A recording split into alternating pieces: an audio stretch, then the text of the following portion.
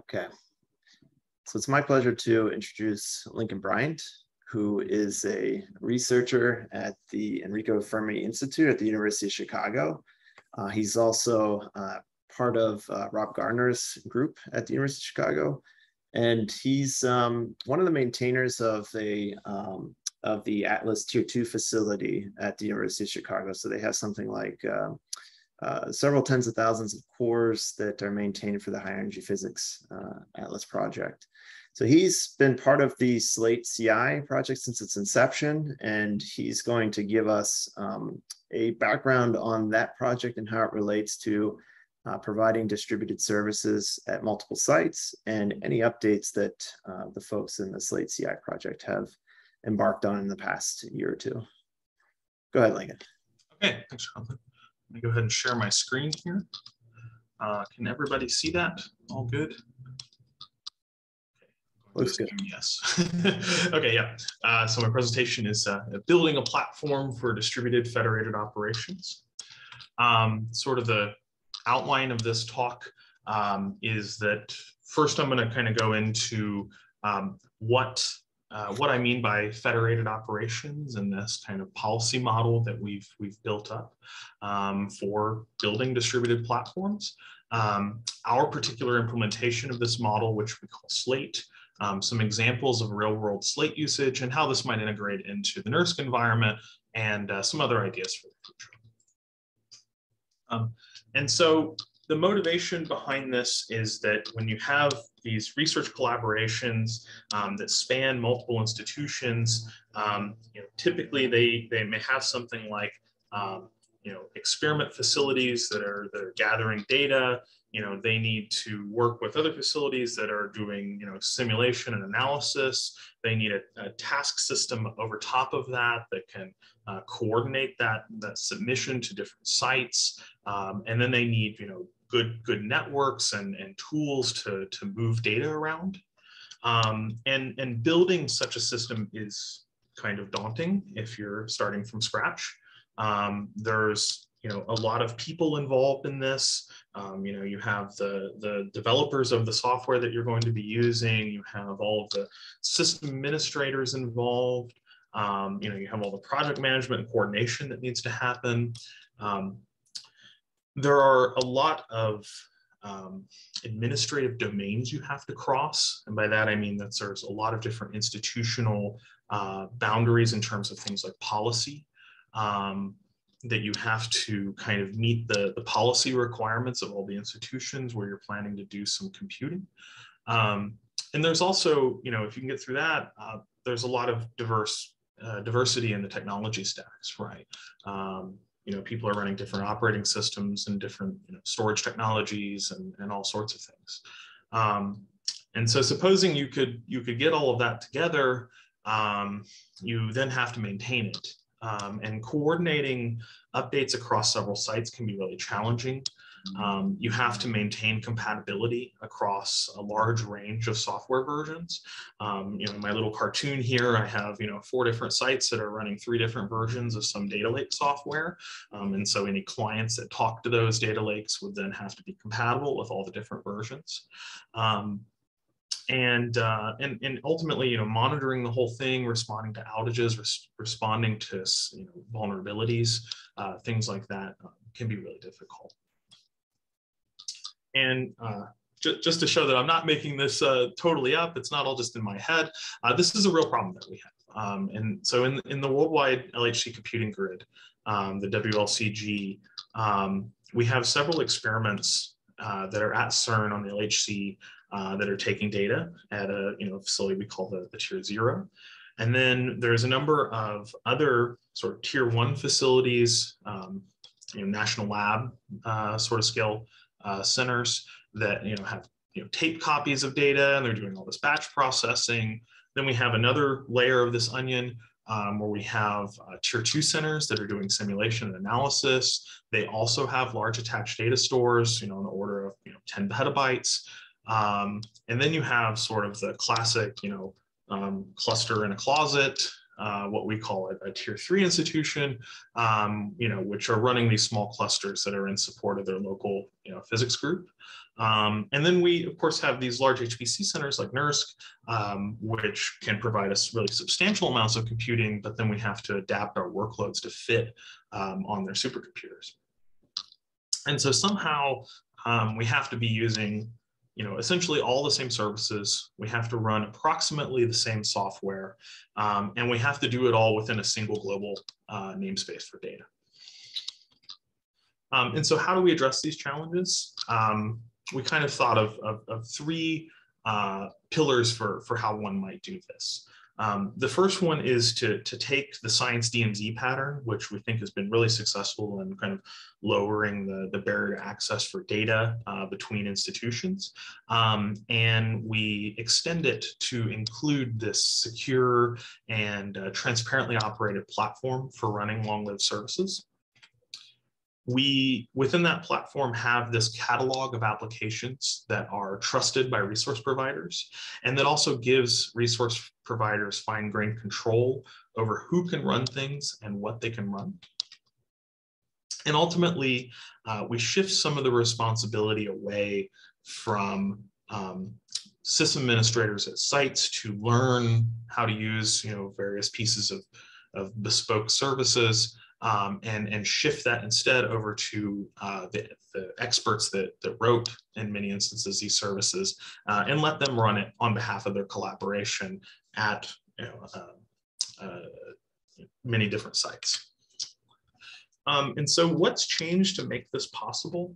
Um, you know, I think historically it would have been really challenging um, and, in many cases not possible uh, to, to give users the ability to run some kind of application, um, especially one that needed privileged ports, things like that, uh, to, to run those applications uh, somewhere in your infrastructure because you'd have to give them root access somewhere. Um, you know, that might be root access on a piece of hardware, that might be root access in VM or whatever. Um, and I think what's changed fundamentally uh, as, as things like Kubernetes and Docker and, and those sorts of things have come along, um, that there are now sort of these a la carte uh, containerization and capability subsystems, uh, specifically in Linux. Um, and, and, and using those, you can sort of uh, grant you know, particular pieces of minimal privilege to your users uh, to let them stand up applications. I had some actual real direct experiment experience with this um, when I was using uh, Spin the other day. I was going through the Spin training and uh, I think it has you set up like a MySQL database. And one of the things that you do uh, as part of setting up that database is you select all the capabilities that you need um, for that database in order to run. Um, and so I think this is kind of ultimately been the, the driving factor uh, behind this paradigm shift where we now have you know, these Kubernetes uh, clusters popping up all over the place. We have uh, developers using those clusters. Um, and for our, our scientific collaborations, um, you know, it's, it's now kind of opened the door uh, to building multi-institutional uh, federation of services.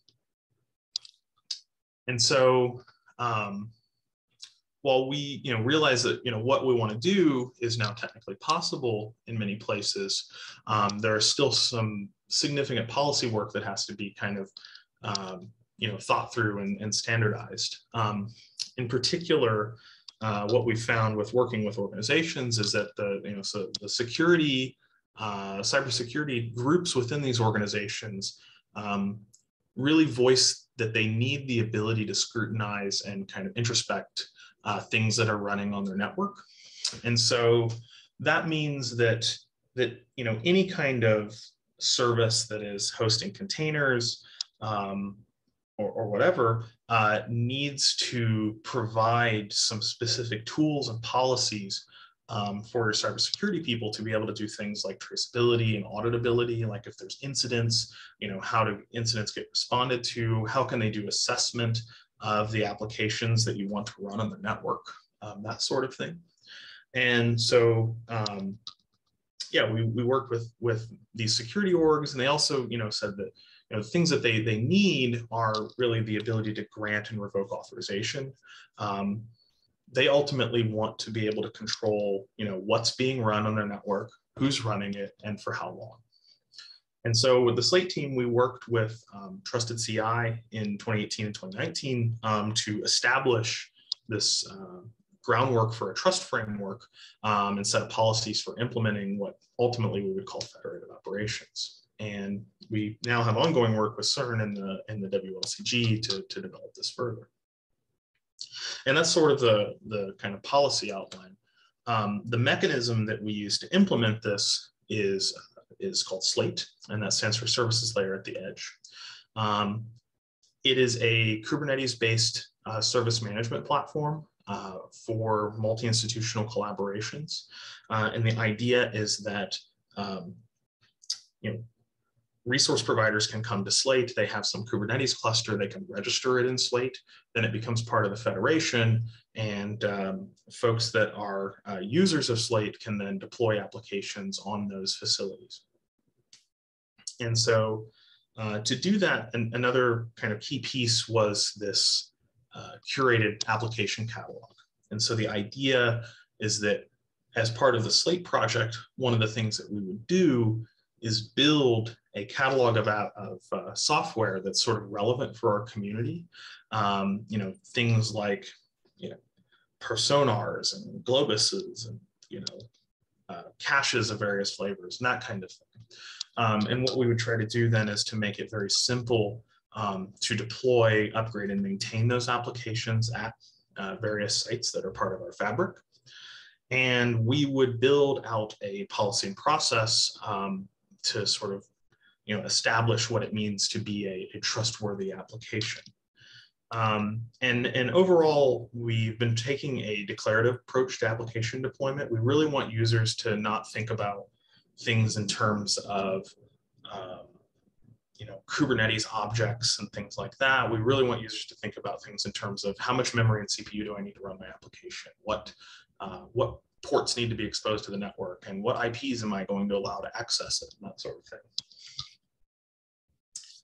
Um, and so the Slate architecture uh, is, is kind of in this little cartoon here on the right. Um, fundamentally, what you have is, you know, uh, various clusters out there in the world, and they're tied together by this component that we call the API server.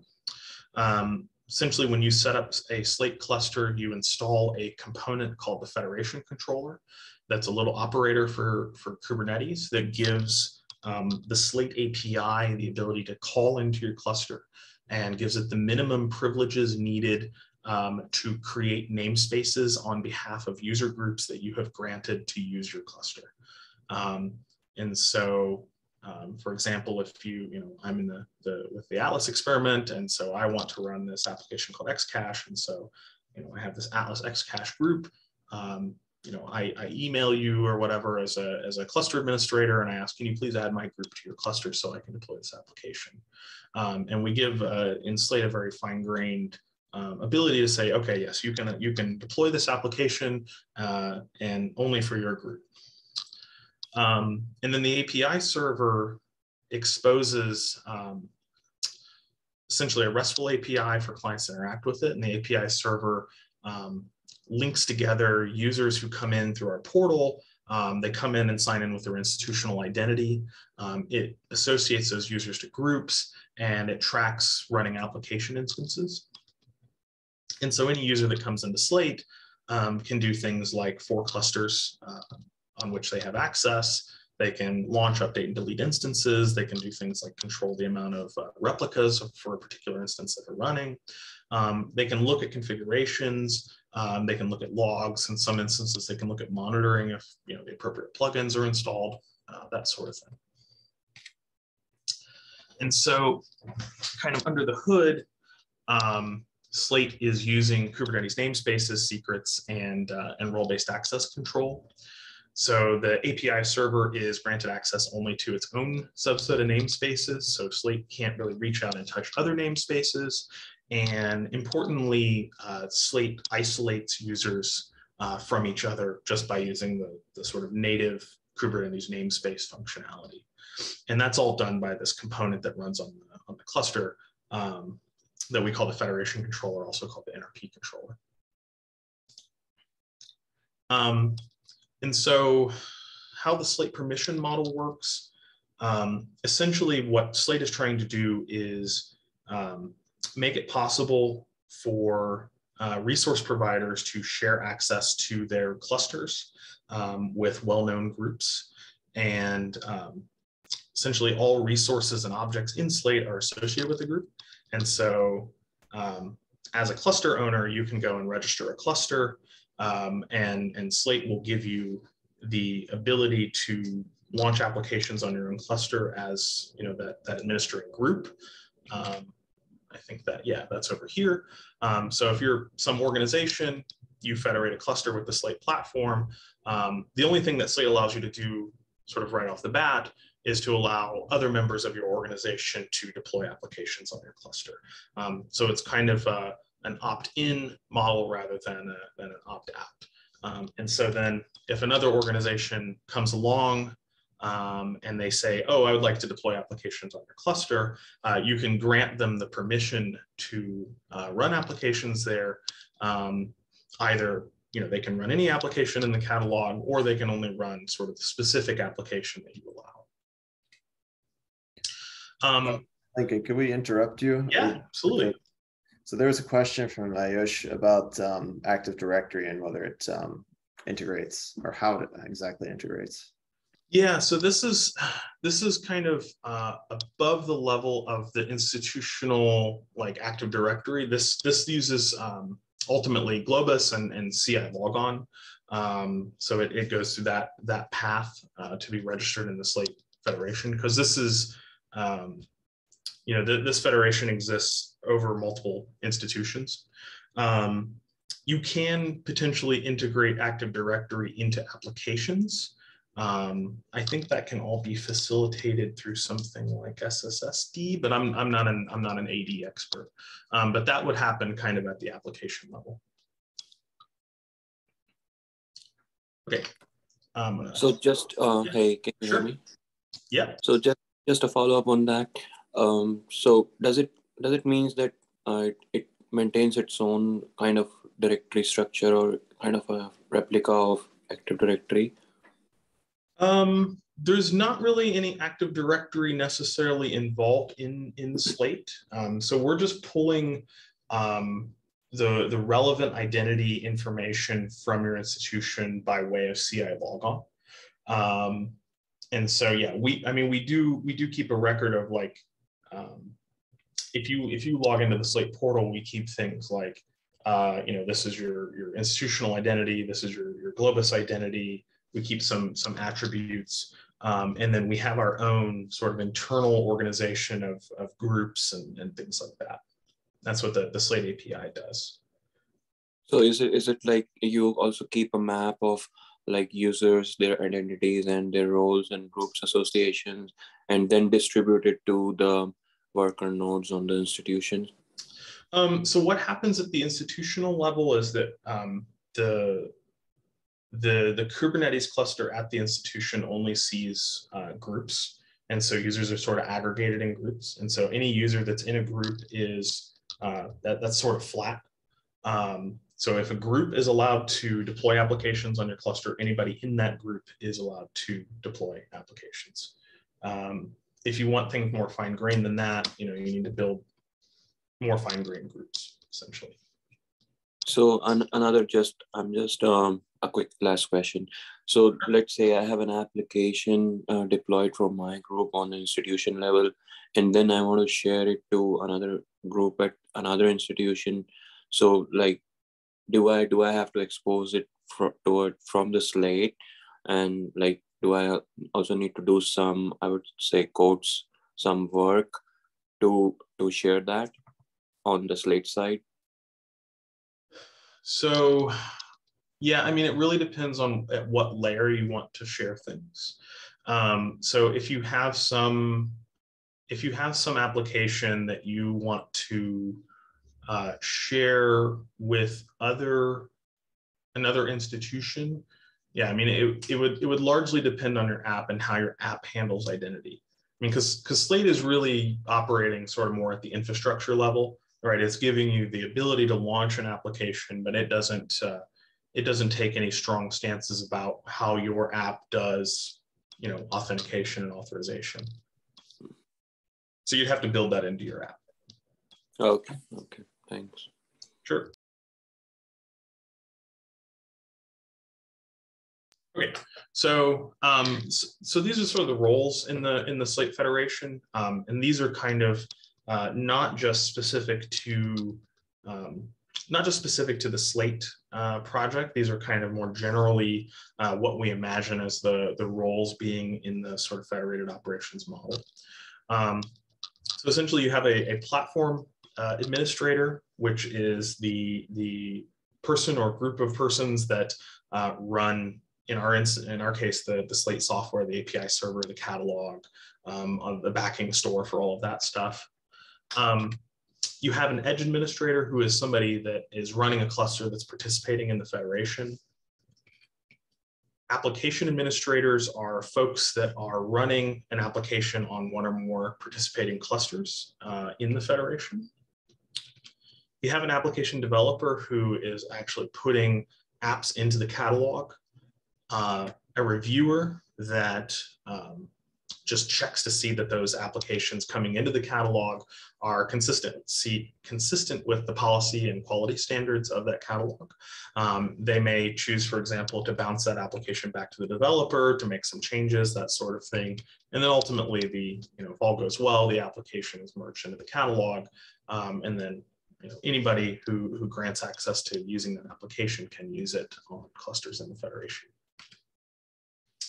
Um, and so the Slate catalog fundamentally is uh, based off of the popular packaging tool Helm. Um, so the idea is that um, we want to abstract away you know a lot of the kubernetes specifics for our users because a lot of the people coming into this aren't necessarily kubernetes experts um, they're they're more interested in running their particular application um, you know, they, they want to do something like run a Globus store, run a perfSONAR test point or whatever. Um, and so we've also tried to take a very uh, kind of security conscious approach to packaging applications for Slate. Um, we found that you know there, there's a number of different uh, deployments for uh, setting up Kubernetes clusters. Um, you kind of have these very uh, open and sort of liberal uh, uh, tools like KubeADM, right, where not a lot of security policies or things like that are set up by default. It's kind of, um, you know, you, you build a cluster, it has some, um, you know, reasonable defaults. And then if you want to add in security, you have to, you know, fold all that in. On the other side of the spectrum, you have things like OKD, uh, which are very, very security conscious out of the box. You can't do things like run things as root. There's all these security policies applied places, you know, you have SE Linux, all that stuff. Um, and so we've tried to take the, the, the Slate catalog and uh, build applications in such a way that um, we sort of uh, try to build in as much of that security stuff as we can, as is reasonable in an application. Um, so, for example, um, one thing that if you if you just go out there on into the into the world and, and look for a Helm package um, for something innocuous like Postgres, um, you might see that you know you can you can pull down the Postgres configuration and it gives you all these options for the database. Um, and then it also allows you to do things like change the container image. Um, in the Slate world, you know things like that can't work um, without introducing very large holes into the model. So for example, if you downloaded Postgres and you uh, you changed uh, Postgres's container image to some Bitcoin miner or something like that, you could imagine uh, folks would go out there and then deploy that uh, you know, on a bunch of clusters that are registered in Slate. And so you know, that's obviously a non-starter. Um, and so that's you know, part of the reason why we keep this, this kind of app store of, uh, of, of, applications that we know uh, work well and are kind of locked down a little bit and this isn't bulletproof, but it's a, it's a step forward in, in trying to protect the supply chain for applications. Um, okay, so what does it actually look like to deploy an app in Slate? Um, so this, this is an example for uh, Globus. Um, and so here on the on the left, this is kind of what a user sees when they're trying to deploy a Globus store through Slate. Um, they can they have a few configurables here that they can they can poke around with. They can change like what paths uh, can be read. Um, they can change port ranges, that sort of thing. Um, they can say, you know, oh, I want the default directory to be my home directory or whatever, um, and then they can plug in an identity method like security, uh, like a CILogon. And then over here on the right, um, all of that gets templated out into the, the Kubernetes object YAML, but none of this stuff is ever directly exposed to users. Um, Lincoln, is the Yes. um, the uh, description on the left is that a CRD? Uh, the the left, this is that's the uh, that's the Helm templating. Okay, yeah, yeah. template. Okay, sure. Um, so, you know, if you're familiar with Kubernetes, this this shouldn't look too terribly different. Um, what you do in Slate is you you create your secrets that are that are needed to instantiate your Globus store, for example. Um, you get some configuration. Um, you edit it appropriately for whatever you want to do, and then you can run the Slate app install command. Um, you give it your configuration file, uh, what cluster you want to run it at, and, and, and what group it's going to run under. Um, and then in five to 10 minutes, you know, Slate will, um, you know, essentially have your Globus store running. It's going to contact the Kubernetes cluster that you want to deploy on. Um, it's going to instantiate the objects and download the container. All this happens at the Kubernetes level. Um, and then the pod starts up and, you know, users can activate the Globus store via CILogon. And if they ever want to, you know, upgrade, upgrade to the latest and greatest version of that application, you know, they can do something like a Slate instance restart uh, and get the latest version. And so in general, we're trying to build um, build up sort of trust relationships with various organizations uh, to build uh, containerized applications. So we don't have to do all of the building of the containers in-house. Um, and so, you know, Helm charts that are in the Slate catalog can also refer to images that are in trusted repositories, uh, you know, such as those operated by like the Open Science Grid or CERN or whatever. Um, one of the things that we uh, found while using Kubernetes for a while uh, is that using some kind of version control, specifically using some kind of implementation of GitOps, uh, is actually hugely important. Um, we think it's it's it's uh, super necessary to be able to track like when changes are made, um, you know, to have people be able to make like pull requests against a configuration, especially if you're working with uh, like junior members of a team, um, so they can you know have that reviewed and get feedback. Um, so you can do things like roll back bad deployments, and and and and overall, so you can have kind of a single source of truth for your cluster state. Um, you know, if you aren't using something like GitOps, it can be kind of hard to uh, you know know sort of the provenance of, of where things are coming into your into your cluster. Um, and I, you know, I personally think that you know if using Kubernetes without some kind of version control based um, system for your Kubernetes objects is a little bit like running you know your servers without some kind of configuration management tool. Um, and so what we did for Slate, because it operates at a slightly different layer than a lot of these uh, GitOps tools, is that we made this GitOps overlay, um, which I like to call Slate flavored GitOps. Um, and the idea is that we can track all the configuration for your Slate clusters, uh, for all the applications on all your Slate clusters, and do things like send notification when changes are made, that sort of thing. Um, another thing that we're working on is a um, an award called uh, Soteria, which is basically the, the idea is that you know the container world is, is really susceptible to supply chain attacks. Um, and that's not just a concern for you know IT professionals, that's also a concern for uh, folks running um, scientific applications in containers because they do have that um, you know, uh, the, the sources of their containers could be possibly compromised. Um, and when they're running services or running applications, you know, they could they could possibly uh, open the door to, to malicious activity. Um, and so there's a number of things that we're, we're looking at here, like, you know, container images are kind of less immutable than they first appear. If you're running, um, you know, some application tagged with version one out of Docker Hub, um, that doesn't necessarily mean it's the exact same container image tomorrow. Uh, or likewise, if you run, you know, an application with the latest tag, um, that's constantly uh, mutating and, and, becoming something different.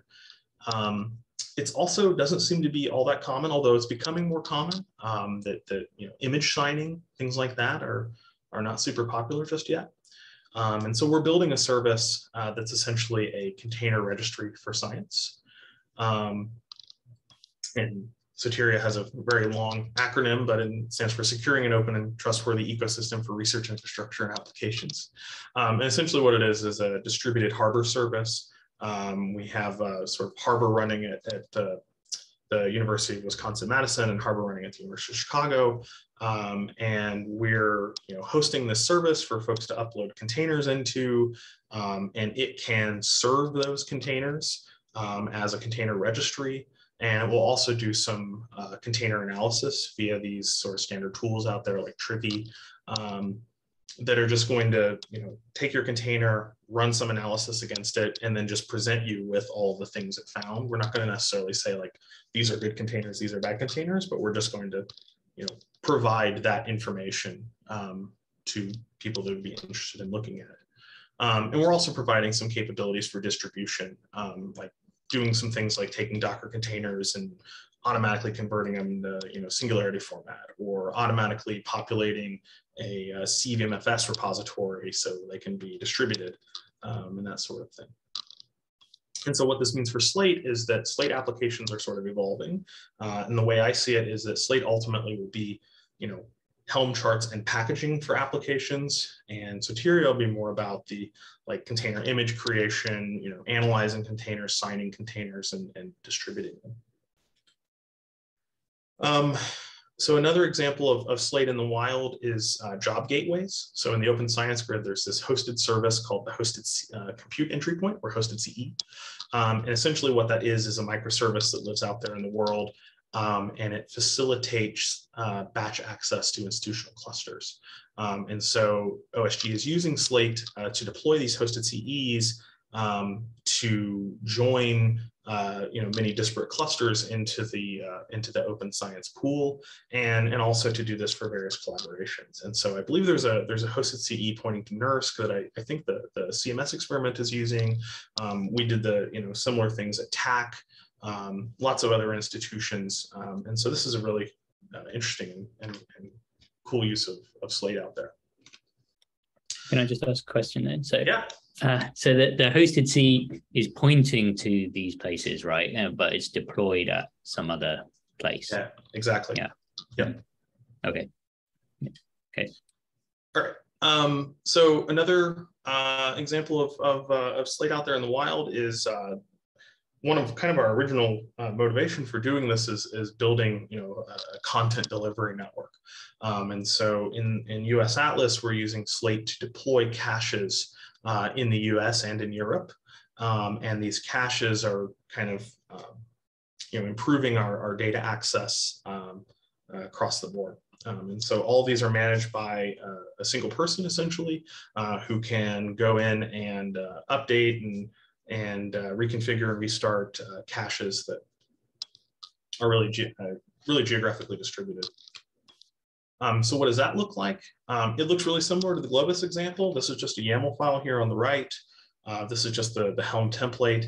Um, you just plug in things like, oh, these are the cache directories I want. I want to put the metadata on this SSD over here, high and low watermarks, usual caching stuff. From the Slate side, the operator uploads and encrypts a uh, X509 certificate. So in Slate, all the all the secrets are uh, are encrypted at rest, um, and uh, they deploy an instance to a cluster. You know, they feed in the the group and cluster information where they want to run this, um, and then they can just sort of use the usual tools to restart instances or delete things or look at logs that sort of thing. Um, so Xcache is is deployed and managed via GitOps. So all that application uh, configuration just lives in this in this GitHub repository that's out there on the web. Um, and so whenever somebody makes a change, or rather when a when a pull request comes in is merged, or somebody makes a change directly to the to the repo, who's one of the main contributors, um, that fires up a GitHub action, and then Slate goes and, and updates the uh, the instance that's running on somebody's Kubernetes cluster somewhere. Then it sends an email saying, you know, oh, I did this uh, to let everybody know that you know, something was changed in the, in the, in the cluster state. Um, and yeah, and so when site operators have to do maintenance or whatever, they can and do uh, make pull requests against this repo when uh, site-specific updates are needed. There was a, a, pull request I was just looking at earlier where you know administrator said, "Oh, this disk is dead. I need to replace it." So they sent a pull request to remove that that disk out of the cache, and uh, you know once that was merged, they were able to do the maintenance. Um, more broadly, in the US Atlas Computing Facility, uh, we've equipped all of our tier two sites with Kubernetes, uh, a small Kubernetes cluster, and we've installed Slate on all of them. And uh, we're doing some federated service management on those clusters. And so fundamentally, each of the sites is responsible for running their own stuff um, and, uh, and keeping the operating system and, and Kubernetes up to date.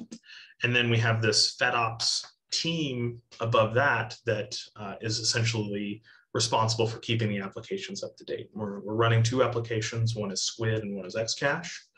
Um, and both of these applications are configured to use Slate GitOps. So there's a single GitHub repository uh, that stores all the configuration uh, that's needed. Well, a single GitHub repository per application uh, that's storing all the config needed uh, for each site.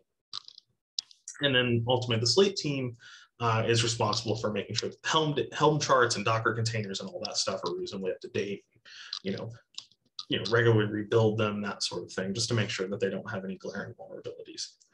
Um, and so ultimately you get the same management interface for two different applications operated by two different teams, um, partitioned in namespaces so they can't interfere with each other on these Kubernetes nodes. And uh, we shift some of that responsibility up to uh, up a higher level. And so our traditional tier two site, um, you know, looks like something on the left where you, you know, you have a bunch of hardware and install the OS and you set up your Puppet thing. Um, and then you have to figure out how to, you know, run all these applications that the collaboration has asked you to run. And so under this new model, the idea is that the site admins just run the hardware, they run the operating system, they run Kubernetes, and you know ultimately that becomes the limit of what they need to manage uh, in order to run their site. And then there are these FedOps teams that run these different services uh, on behalf of the collaboration. Um, and then you have things like Slate and Soteria that are concerned with the stuff in the middle, like the Helm charts and the containers and that sort of thing. Uh, we also find that a lot of applications these days are sort of going cube native in the high energy physics community. There's been a lot of interest in building um, what people are calling Pythonic analysis platforms. Um, so these are essentially Jupyter driven uh, with really easy to use libraries for data access and data processing. Um, and these platforms have kind of fundamentally been developed with Kubernetes in mind. Um, it'd be really actually pretty difficult to reproduce them outside of Kubernetes because they, you know, have a number of things going on. Like they have, uh, you know, message queues and object stores and and uh, and databases and all this stuff um, that would be, you know, a pretty significant ask if you were to go to a site and ask, you know, a system administrator to set all this stuff up for you.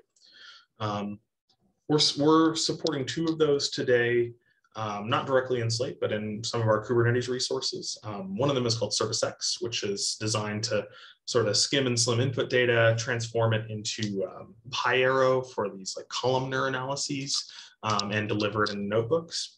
There's also this tool called Coffea-casa, which is a Jupyter Hub solution that uh, integrates with Dask uh, and uh, and experiment IDP. So you can like log into Coffea-casa as an, if you're an Atlas physicist, you can log into the system and get a notebook and do some work, submit things out to Dask, and it uh, you know integrates it all very nicely into into one Jupyter environment. Um, so how could how could Slate benefit NERSC users? Um, I would say that in Slate we have this sort of catalog of applications that we think work reasonably well. Our focus has been mostly on building things that are relatively stateless. Um, so we've been doing a lot of work with building out caching applications, um, facilitating file transfer through things like Globus. Um, we've been trying to integrate things like perfSONAR, plus some other uh, interesting tools like Open On Demand, those sort of things.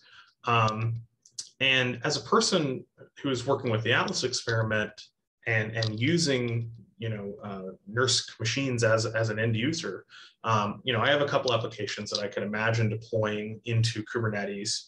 Uh, for me, of course, preferably via Slate.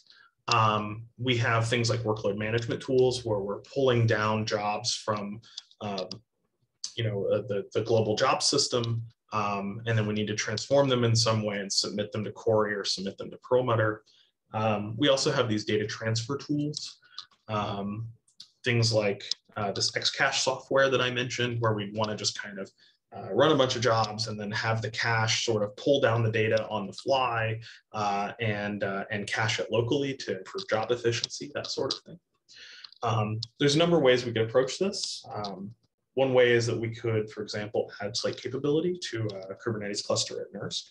Um, we could also, if we had to, you know, deploy things in a detached manner, um, as I mentioned, you know, Slate applications are just Helm applications. And so it's possible to just render out the Helm templates and then install them kind of in the usual way with kubectl. Um, then of course, from a user perspective, I sort of lose the, um, you know, the advantage of having things in my, my GitOps and all that stuff, but it, it's doable. Um, for data transfer, you know, we're mostly sending data to and from NERSC via Globus, um, you know, which has its own, you know, things that we have to do. We have to have a bunch of plugins that are running in our, our workflow management uh, tool. Um, we have to go in and, you know, periodically refresh our Globus credentials and all that stuff. Um, we also have some applications that we're running on DTNs just by um, you know, we, we have a unprivileged account on a DTN and we can run some data transfer tools, that sort of thing. Um, but what we really would like, um, which would really make our lives easier, and I suspect the lives of a lot of other collaborations a lot easier, um, is to have some kind of DTN-like capability attached uh, to a Kubernetes cluster. Um, and I think in general, this would be really uh, enabling for folks that are doing things like wanting to run science gateways, right? Because you could imagine that they might have a, a Kubernetes app that that uh, handles staging and data from some data federation, and maybe it submits a job to one of your clusters using your super facility API, and then you know it makes the results available for an end user to download, or it makes you know it it moves those results out uh, you know somewhere else so they can be collected and that sort of thing. Um, so finally to the end. Um, so in summary, uh, you know, we're kind of betting that Kubernetes-based service platforms adjacent to large-scale HPCs are going to become very commonplace. Um, we know that scientific uh, collaborations are going to continue to need to build these bespoke distributed applications to support their workflows. And so we think that there is a policy, there's a need for a policy framework and a mechanism to implement that framework um, and build this kind of fabric of services, um, you know, to, to, to sort of insert this uh, this substrate for collaborations to be able to build their applications.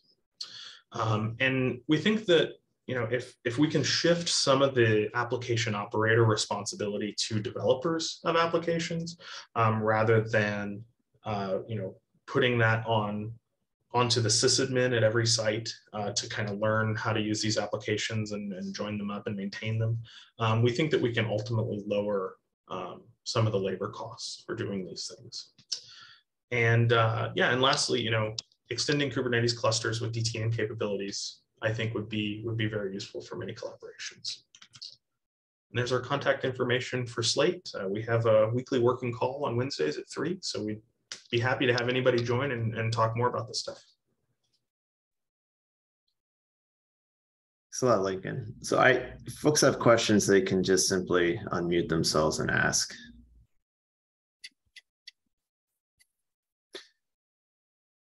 I guess in the meantime, while folks uh, formulate ideas or questions, I, I, would wonder if you could um, elaborate a little bit more about the uh, capabilities of the data transfer node that are needed for the science gateways that you see that are not um, available, say on say something like Spin in existence today? Is it just, it just simply that you need higher bandwidth? Um, you need yeah. science gateway mm-hmm. capability that right. Yeah, I mean, you know, we would we would love to be able to you know transfer files into in into NERSC, you know, through some Kubernetes application at you know multiple tens of gigabits. Um, I realize that there are some challenges potentially with um, you know doing doing user accounts and things like that, making sure that the the accounts running in a container are going to match up with the accounts and groups and stuff that are that are present in the file system. So there's you know it's not without challenges. Um, but yeah, do, doing that sort of thing would be would be really useful. Um, admittedly, I haven't tried to do any kind of you know large transfers through spin things like that, so I don't know um, you know what the limits of that are. Um, but in general, I could see it as being a, a useful thing. Okay. Yeah, I, I can just comment. I, I mean, I think it could be useful too. Um, I mean, there's probably some reasons why. I mean, like, you know, there would be a different security model that Spin is currently kind of protected by a firewall. And part of the point of Science DMZ and DTNs is they're a little more open, I guess, for bandwidth and performance reasons. Uh, I would just say on your on the workflow that you described, I mean, if you're using the Super Facility API, then you can initiate via that API a transfer which would happen with Globus uh, on the DTNs. so, so you can still construct that portal and workflow. Uh, but I, if you want to run something other than Globus, then I think it would be convenient if you could have your own container within Spin. Yeah, exactly. Yeah, I, I see Stefan uh, decloaked, so he might have a comment as well. No, no, I'm just uh, just decloaked so, so I can pay attention more closely. Yeah, no, I think well, I think Spin generally does have a different security model. This is, I mean, this is there's a lot in this presentation. It's very interesting, so we should look into it more. Yeah, I mean, I had a bit of a question about when you say integrating Slate into a Kubernetes cluster. Uh, like, you know, what would it take to bring Slate into Spin, Yeah. uh, for example? Right. Yeah. I mean, I, I would be very interested. I, I don't know if you have like a, a, a development spin and a production spin, something like that. If you have any anything like, for example, I know that, that it's it's using Rancher. Um, you know, we haven't we haven't tried things with Rancher in, in quite some time. So there's there's there's one just the technical thing of you know can can we install the Slate Federation controller and have it talk to your cluster. Uh, and then there's the separate kind of policy thing of like, you know, do, does, uh, you know, the policies we've, we've laid out, right, and, and how all this stuff work, you know, is, is that sufficient for, you know, cybersecurity folks, right? Is there something more that they want? Uh, having that kind of conversation would be really interesting too. Yeah, so Spin uses uh, Rancher, which has its own RBAC. So, you know, that's like one of the places where I'd be concerned. I mean, the devils are in the details here. I mean, um, Absolutely. definitely there's a. Um, and then I could see there's some other, other pieces that look like they would be probably easier to integrate um, more the on the Helm level of, uh, of uh, deploying an application. But again, uh, we'd want to look at it. Yeah, definitely. Yeah, because it seems like even if it wasn't fully integrated, there might be some advantage in pulling services because we're running squids and stuff within Spin. So, you know, being able to pull from the same repository, like things that work elsewhere, Right. might be useful. Yeah, I mean, if you have the ability to use, you know, Helm somewhere, I, I don't know if Rancher has any integration for Helm, but you, one, one way you can use Slate is to, to simply add the Slate catalog in as a Helm repository into your, you know, into your Helm config. Uh, Yeah. Um, we've been struggling with using Helm just uh, for mostly for um, because we would have to basically provide a catalog of like vetted vetted applications, and, and Yeah. like our role would be like git pull and then like change a couple lines and then git push to our own app um, Yeah. repository and just keep that in sync all the time. And that was uh, uh, just not something we could handle at the, at the time. It is something we are discussing um, a lot more Yeah. now. Um, but I think having another catalog uh, where people already did that would be uh, great. Um, so like one of those things we struggle a lot with with Helm is, um, you know, Helm just kind of assumes, or a lot, most of the applications in Helm just assume that you're root and that's okay. Um, And that's not something we're okay with. So we've had, you know, we have, um, uh, we really limit capabilities uh, where possible while still allow, allowing Helm. And then just lots of, lots of applications just don't work with that out of the box. So we have to like do some deep dives and to fix things. Yeah, that that's we- haven't we haven't done a ton of work here, but one of the things that we've thought about is like we we should build our Helm applications assuming the most restrictive set of security policies if we can, and then Yeah. if, if it works in that restrictive subset, then it should work in, in more uh, freewheeling clusters. Yeah, and like just even like two years ago, that would have been a really difficult proposition. Um, just I think just uh, the Kubernetes community just hasn't been super security minded, um, yeah. and so I think that's getting taken much more seriously now. Yeah, it is, and I think a lot of that is related to how you know you you go and get a Kubernetes cluster on you know GKE or whatever, right? And it's it's really just like a single tenant, kind of narrowly focused. We assume you know what you're going to do, kind of thing. Um, and and in in our community, we're really trying to use it as a as a multi-tenant thing, and so you know we have to keep all these security things in mind. Yeah, I think it's a different level of multi-tenancy. I mean, Amazon doesn't really care too much if your application gets hacked because it's you're contained to your it's contained within your like little AWS yeah. realm, and so it's different uh, in the multi-tenant environment like we have. Um, and Amazon and Google aren't really tempted to to um, uh, solve that problem because they make more money if they sell. You know, if they have a if they have one cluster with 10 people in it, they make less money than if they have 10 clusters with one person on it. Um, so, and, and, and also just like Kubernetes in general has a lot of, I think, cloud bias um, and on-premise is a lot harder. So, yep.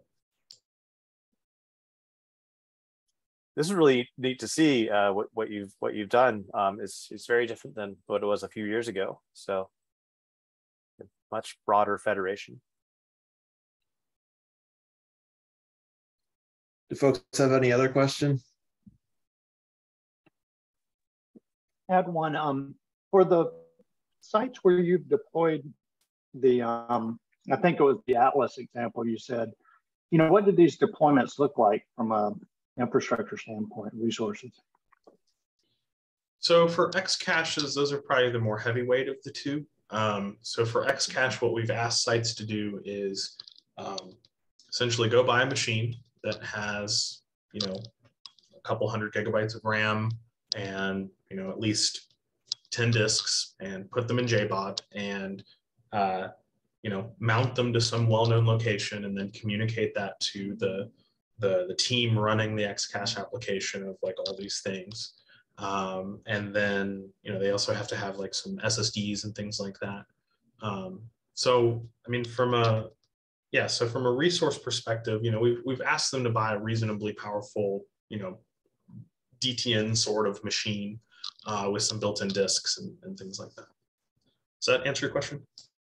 Yeah, so it's just one beefy node generally.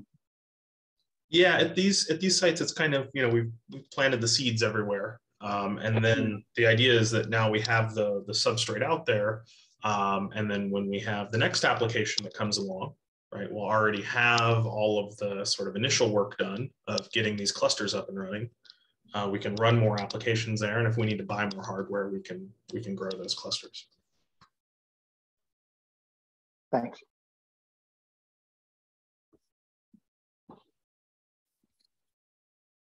If there aren't any other questions, then I think we'll, we'll end early and uh, thank thank Lincoln for his time. Yeah, thanks for thanks for inviting me to come speak.